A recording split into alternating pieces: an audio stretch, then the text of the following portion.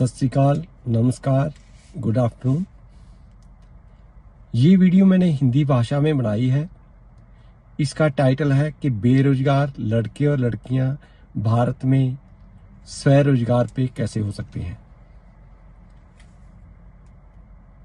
देखो, बहुत सारे लड़के, लड़कियों ने secretarial practice computer operator and programming assistant English stenography front office assistant का कोर्स किया हुआ है भारत में। या आप कोई भी ग्रेजुएट हो पोस्ट ग्रेजुएट हो, आप स्वयं निर्भर होना चाहते हो, हम जो कनाडा के लोग हैं, इन्होंने इकट्ठे होकर दिसंबर इस साल और जनवरी में दो महीने का एक कोर्स उलिका है। ताकि हम आपको वहाँ ट्रेनिंग पटियाला शहर के अंदर देंगे, जिसकी, जिस, जिसका मीडियम इंग्लिश सॉरी पंजाबी और हिंदी होगा। आपको हम चार काम सिखाएँगे। ये काम स्टार्ट करने के लिए आपको कोई पैसे की ज़रूरत नहीं है। आप अपने घर से भी ऑपरेट कर सकते हो। अगर आपके पास वैन कार जीप या कोई गाड़ी है, उसके ऊपर भी ऑपरेट कर सकते हो। हम उसके, देखो, इस कोर्स की ज़रूरत क्यों पड़ी है?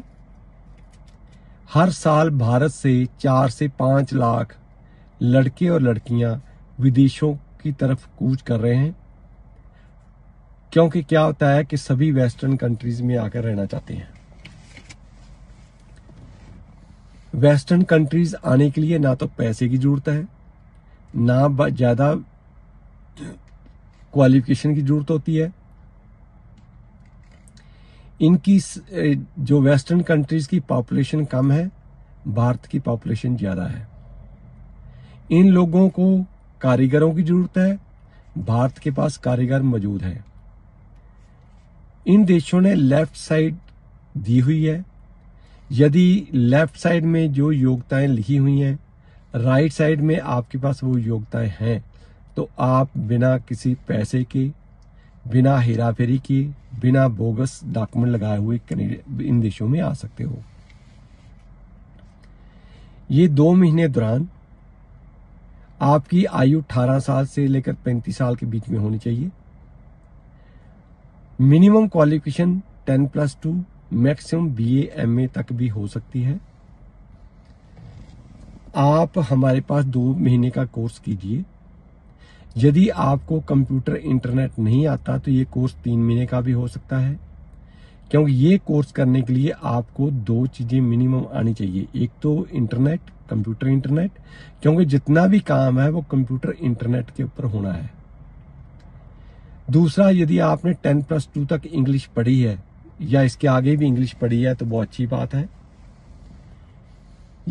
वेस्टर्न कंट्रीज़ का जो भी काम है, वो इंग्लिश या फ्रेंच भाषा में होता है। और कंप्यूटर के ऊपर होता है।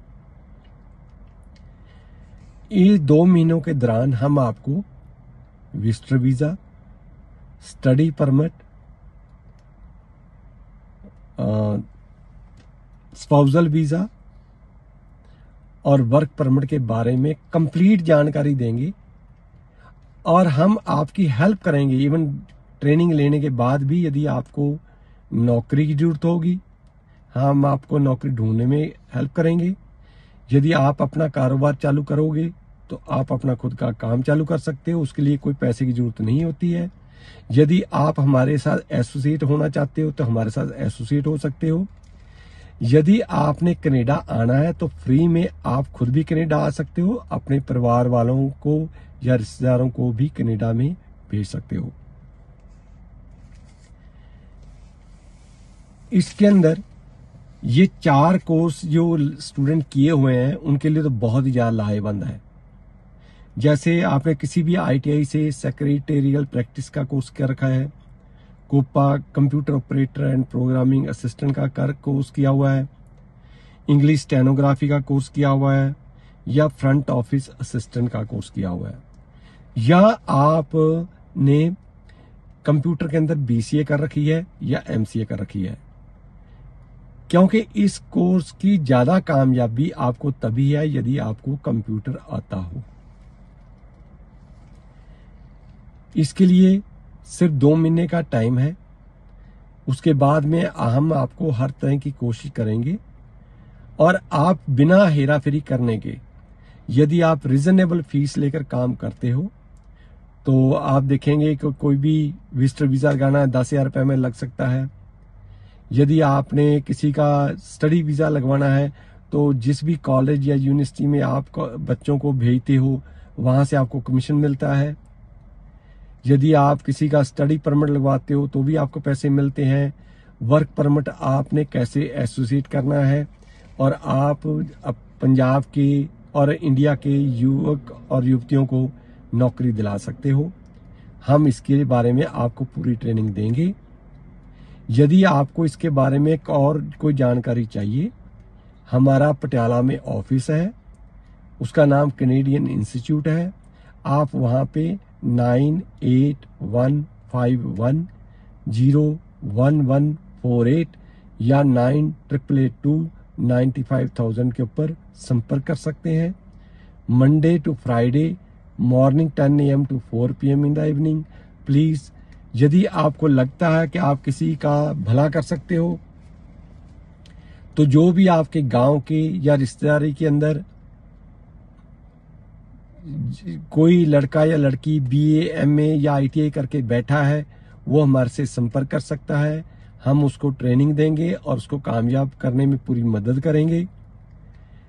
ये चार कैटेगरी के लोग इसमें नहीं आ सकते हैं, क्योंकि ये काम करने के लिए भारत सरकार से आपको लाइसेंसिंग करनी होगी। यदि आप, एक तो आपने बैंक नहीं की होनी चाहिए। दूसरा, आप क्रिमिनल बैकग्राउंड आपकी नहीं होनी चाहिए। तीसरा मिनिमम टेन प्लस टू और मैक्सिमम चाहे आपने एम एमए का रखी है, चाहे पीएचडी का रखी है, आप ले सकते हो। इसके अंदर वो भी विद्यार्थी आ सकते हैं जिन्होंने अपने कॉलेज दिनों में हिस्ट्री पॉलिटिकल साइंस और फ़िज़िकल साइंसेस के सब्जेक्ट रखे थे, क्योंकि ये सब्जेक्ट लेने के साथ आप विदेशों में नहीं जा सकते हो। इसका कोई स्कोप नहीं होता है, पर हम आपको ट्रेन करेंगे। और please share this information with your near and dear ones stay connected with us thank you very much